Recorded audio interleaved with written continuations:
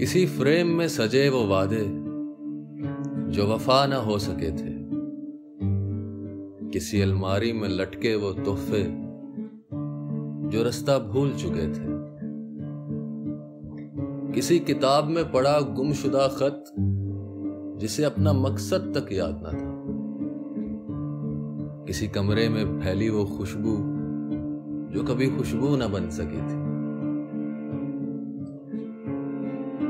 اور اس دل کے تہ خانے کا وہ خلا